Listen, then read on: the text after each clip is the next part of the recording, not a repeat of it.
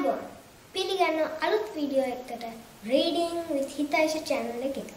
අද අපි බලන්න යන්නේ මේ පොත මැට්ටි ගෙදර ළම. මේ පොත මැට්ටි ගෙදර ළමයි ලිව්වේ සිබිල් රත්නසිංහ නේද? එයාව ඔයගොල්ලෝ දන්න නැති. එයා මේ ළඟදී ළමා මැරුණේ.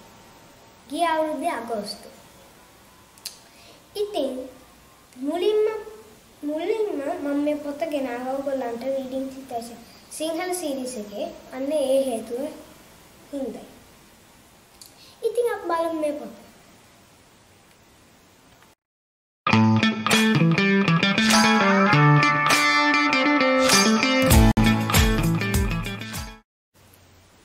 මේ කතාවේ වීර ළමයි තුන් දෙනෙක් ඉන්නවා. සාමා සහ විමල් අත්තම්ම ගාව ඉන්නවා. එතකොට සේනක එයා ඒ දෙන්නගේ යාළුවෝ විදිහට ඉන්නවා. මේ තුන් දෙනා අඳුරු මන්දිරයකින් පුංචි ළමයෙක්ව බේර ගන්නවා. ඒ ළමයාට කතා කරන්න ඕනකමකුත් කතා කරන්න බෑ. මොකද එයාට ඕනකමක් නෑ කතා කරන්න. ඉතින් මේ ළමයි තුන් දෙනා අඳුරෙන් බේර ගන්නව විතරක් නෙමෙයි. කතා කරන්න හැකියාවත් එයාගෙන් එළියට ගන්නවා. තව සින්දු කියන හැකියාව එයාට තියෙනවා. නමුත් ඒකත් එයාට පාවිච්චි කරන්න කිසිම හේතුවක් නැති හන්දා ළමයි තුන්දෙනා ඒ හැකියාවත් එළියට ගන්නවා.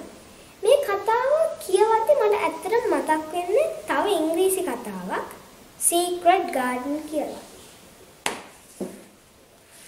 මෙන්න තියෙන කතාව. මේක ලියලා තියෙන ෆ්‍රැන්චෙස් හොක්සන් බර්නෙට්. ඒක ගැන අපි පස්සේ දවසක් කතා කරමු.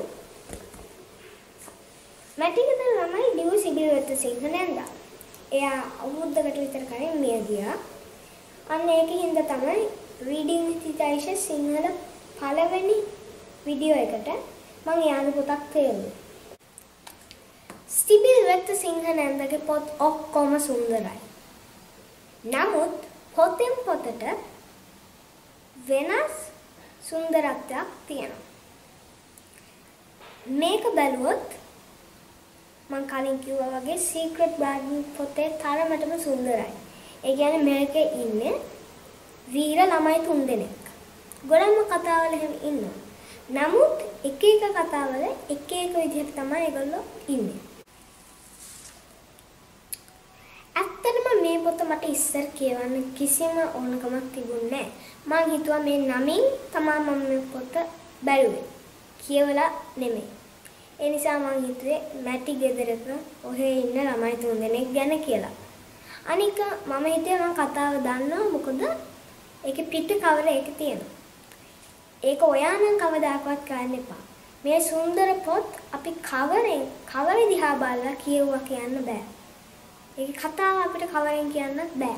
ඒ නිසා කියවලම් බලන්න ඕනේ. එතකොට ඔයාලට තේරෙයි කවරේ තියෙන කතාව කවරෙන් හිතෙන කතාව නෙමෙයි පොත් ඇතුලේ තියෙන්නේ කියලා. ඉතින් මම හිතනවා ඔයා මේ වීඩියෝ එක එන්ජොයි කරා කියලා. ඉතින් ඔයාලට පුළුවන් ලයික් කරන්න, තව පුළුවන් සබ්ස්ක්‍රයිබ් කරන්න. ඔයා මාව දන්නේ නැත්නම් මම තමයි හිතයිෂ රීඩින් හිතයිෂ එකේ පොත් රිවිව් කරන එක්කෙනා. ඔයාලට පුළුවන් මේක ෂෙයා කරන්න, කමෙන්ට්ස් ඔන් නම් විතරක් ඔයාලට පුළුවන් කමෙන්ට් එකක් දාන්න. මම කමෙන්ට් ඔන් කරනවා. හැබැයි YouTube වලින් ඔෆ් කරයිද දන්නේ ඉතින් එහෙනම් අපි හම්බෙමු ඊළඟ වීඩියෝ එකේ සුබ දවසක්